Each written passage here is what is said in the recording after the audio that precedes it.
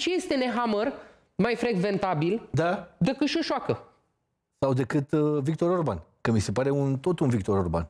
Și Nu, Nehammer. mie mi se pare, nici- din punctul meu de vedere, da. Nehammer este un pericol mai mare decât Victor Orban. De pentru ce? că Victor Orban este un jucător cu cărțile pe masă. Deci Victor Orban este asumat în direcția asta. Da.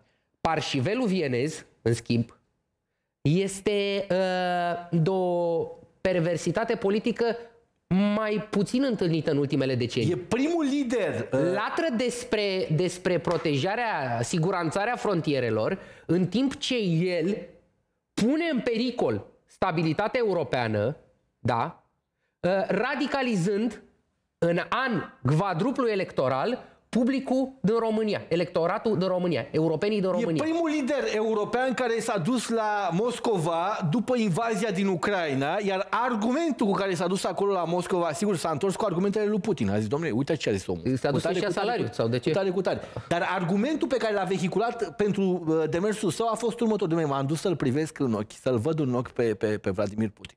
Deci asta a fost, așa explicat el, faptul că m-am dus să-l privesc în ochi. Acum, Spus că nu mi-a transferat rublele pe card, m-am dus să le iau un plic. Argumentul cu care ne mi-ar zăbat refuză și această descindere a noastră în spațiul Schengen este acesta. Domne, așa a zis azi. Zice, domne, nu e funcțional uh, spațiul Schengen, de-aia nu putem să facem o extindere pentru că nu funcționează spațiul Schengen cu tare.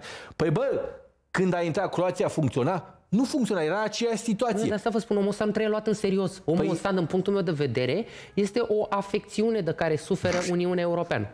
Deci noi trebuie să ne tratăm de nehammer. Suferim de nehammer. Este practic un neg pe degetul Europei. Pe